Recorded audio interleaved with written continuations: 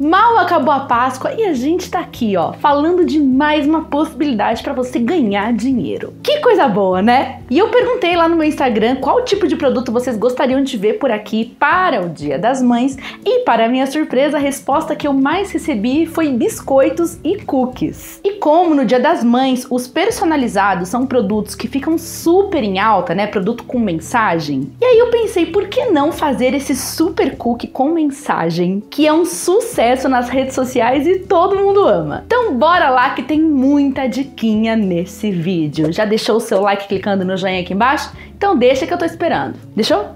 então agora sim, bora pro vídeo.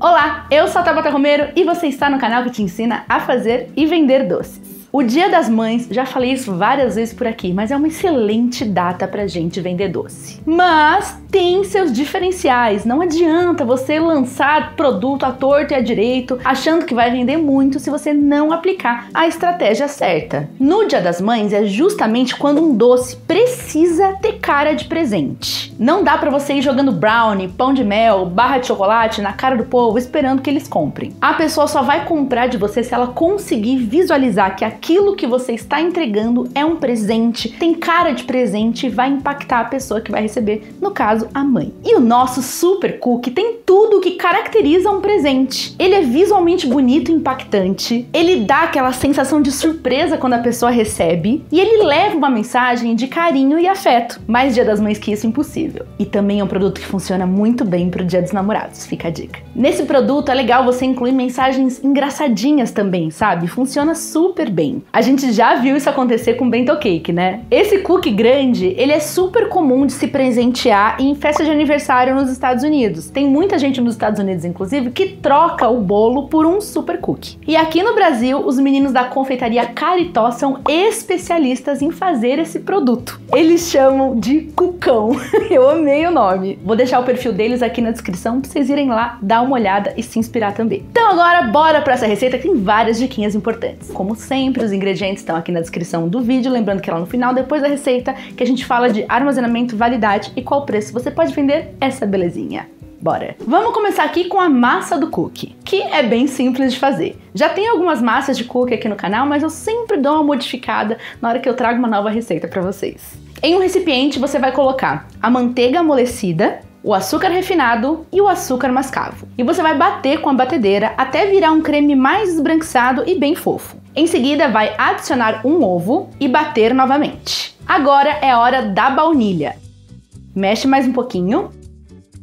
E aí você vai peneirar a farinha de trigo, o fermento em pó e o bicarbonato. E aí com uma espátula você vai mesclando os pós no nosso creme batido, misturando sempre dessa forma até que a massa incorpore e fique densa. No final a gente vai acrescentar as gotinhas de chocolate. Deixa reservado algumas aí de cantinho pra gente colocar por cima. Mistura bem e agora essa massa vai pra geladeira rapidinho, uns 30 minutos, só para ela pegar uma consistência e ser mais fácil da gente modelar. Depois desse repouso em geladeira a massa tá bem mais consistente e mais fácil de mexer. E para ficar legal, a gente precisa fazer um cookie que seja do tamanho da caixa. Essa caixa minha aqui tem 17 centímetros. Então, eu vou fazer um cookie de 16 centímetros de diâmetro para sobrar um pouquinho aí de cada lado. Para fazer esse tamanho direitinho, você pode utilizar um aro como esse, que é um aro que se adapta ao tamanho que você quer. Vou deixar o link desse produto aqui na descrição. Ele é super coringa, eu uso bastante ele por aqui. Se você não tiver o aro e quiser fazer já, você pode utilizar uma assadeira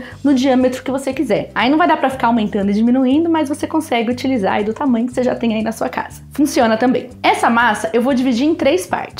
Vai me render três cucões. E aí eu vou colocar um terço da minha massa no tapetinho de silicone, pode ser um papel manteiga também, sobre uma assadeira baixinha. E em seguida eu vou modelando a minha massa até que ela fique redonda. Acerte aí a circunferência dela certinho com o aro. E aí por cima você vai colocar um terço daquelas gotinhas de chocolate que você já havia separado e pronto. E agora, não sei se vocês sabem, mas o maior segredo de fazer um bom cookies é a hora de assar. Então, presta atenção aqui no que, que você vai fazer. Antes de assar, você vai levar a sua massa para o congelador bem gelado por pelo menos 30 minutos. O mais potente que você conseguir aí na sua casa. Enquanto isso, você vai pré-aquecendo o seu forno a 220 graus. Depois desse tempo de congelador e com o seu forno super quente, você vai tirar sua massa de cookies do congelador, vai encaixar o aro em volta e vai colocar direto no forno. E é justamente esse choque térmico que faz o nosso cookie ficar bonitão. Ele vai crescer de forma uniforme, vai formar uma casquinha e não vai se espalhar completamente pela assadeira. Essa dica é de milhões, tá? E esse cookie vai ficar 20 minutos no forno. Se o seu forno não for aqueles fornos que direitinho, uniforme, eu recomendo que no meio desse tempo, né, passando 10 minutos, você gire a assadeira e inverta ela de posição para assar uniformemente de todos os lados. E o nosso cookies estará pronto quando ele ficar douradinho na parte de baixo, ainda vai estar tá macio na parte de cima, mas você vê que tá douradinho embaixo, tá perfeito. Ele tá macio ainda em cima, mas ele vai pegar consistência na hora que ele for esfriando. E aí, com o nosso cookie ainda quente, você vai tirar as rebarbas da lateral e com a sua colher da NASA você vai dar uma pressionadinha no centro do cookies, deixando uma borda de um dedo mais ou menos. Pronto, agora você vai deixar essa belezinha esfriar completamente que a gente vai cuidar das outras partes que compõem esse produto. Bora para as letrinhas? E essa parte aqui, meu amor, não tem segredo. Você vai precisar de uma forminha de alfabeto. Essa que eu estou utilizando aqui é de silicone, vou deixar o link para ela aqui na descrição para vocês. E eu vou utilizar cobertura branca para contrastar com a nossa decoração, que vai ser de chocolate. Se você quiser, você também pode tingir essa cobertura para dar um charme a mais. Vou fazer aqui as letrinhas que eu preciso, dar uma raspadinha aí para deixar um acabamento bonito e leva para geladeira geladeira 10 minutinhos. E pronto, olha que gracinha, a gente já tem as nossas letrinhas e com elas eu vou formar essa frase aqui. Você não é todo mundo. Fala sério, toda mãe já falou isso, né? Agora é hora de finalizar o nosso super cookies. Nessa parte aqui que a gente deu aquela afundadinha com a colher da NASA, você vai preencher com o recheio da sua preferência. Eu vou rechear com caramelo salgado. Já ensinei vocês a fazer esse caramelo salgado, ah, em vários vídeos aqui no canal. Eu vou deixar para vocês na descrição o vídeo que eu ensino e na minutagem certinha para você aprender especificamente o caramelo salgado. Espalha bem, dá uma alisada bonitinha com a sua colher da NASA e por cima eu vou colocar chocolate derretido e temperado ou cobertura. Espalha bem também e dá umas batidinhas para ficar uniforme. E aí, com o chocolate ainda líquido, eu vou colocar as minhas letrinhas, formando a frase que eu quero. Eu gosto de fazer esse trabalho utilizando uma pinça para me ajudar a colocar certinho cada letrinha no lugar. Eu acho que com a mão a gente fica meio atrapalhada, sabe? Fala sério, essa frase, você não é todo mundo, é super mãe. Eu lembro quando a minha mãe falava isso para mim, principalmente quando eu pedia para ir, sei lá, numa excursão da escola ou num passeio que todo mundo ia, ela sempre falava isso pra mim, você não é todo mundo. Comenta aqui embaixo qual frase a sua mãe falava para você e comenta também qual frase que seria legal a gente colocar num doce de Dia das Mães, para inspirar o nosso pessoal por aqui. E para finalizar, eu vou espalhar confeitos coloridos para deixar isso tudo mais bonito e mais impactante. E aí é só levar para geladeira geladeira 10 minutinhos até cristalizar esse chocolate. E meu amor,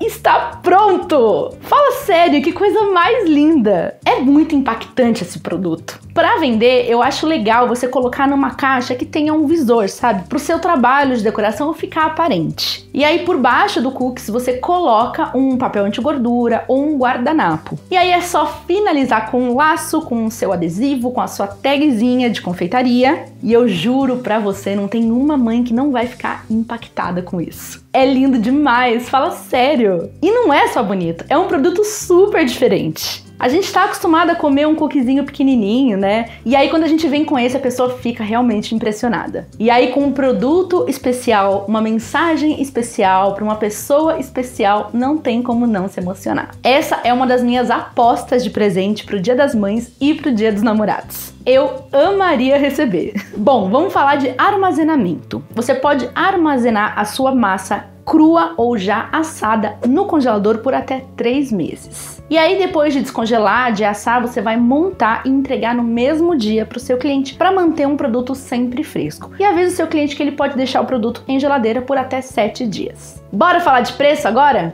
O peso final desse produto ficou em torno de meio quilo e nos rendeu três cookies nessa receita. E o custo individual de cada um desses produtos foi de 14 reais, já levando em consideração todos os produtos que a gente utilizou, dividido por três, né? Mais aqueles gastos relacionados à água, energia elétrica que a gente não consegue calcular com exatidão. O preço mínimo para você vender esse produto e não ter prejuízo, já levando em consideração tanto o produto quanto a caixa, é em torno aí de 45 reais. O preço que eu sugiro para você vender é a partir de 55 reais. E se for utilizar um recheio diferente, um recheio mais caro, tipo um creme de avelã ou um brigadeiro de pistache, você pode colocar um preço adicional, né? Um valor adicional. Você oferece esse preço para os sabores básicos e aí você vai colocar um brigadeiro de pistache, por exemplo, você coloca mais 10 reais. Aí a pessoa decide se ela quer o de pistache ou se ela quer o sabor tradicional. Mas confesso para vocês que 55 reais eu achei um preço super competitivo. Normalmente qualquer caixa que você vai comprar ou você vai vender de Dia das Mães, dificilmente vai ser menos do que 100 reais. ます。E 55 reais é excelente para um presente, gente. Quase nada no, no, shopping hoje você consegue pagar esse valor de 55 reais. Mal e mal hidratante, um sabonete na loja do shopping é esse valor. Então, venho falar para vocês que dá para cobrar mais, tá? Se você quiser, se você tiver público para isso. Depende da sua cidade, da sua região, depende da galera que compra com você, tá? Eu consigo visualizar esse produto sendo vendido por até uns 80 reais, mas tem que levar tudo isso em consideração, beleza? Avalie aí e vê qual preço você consegue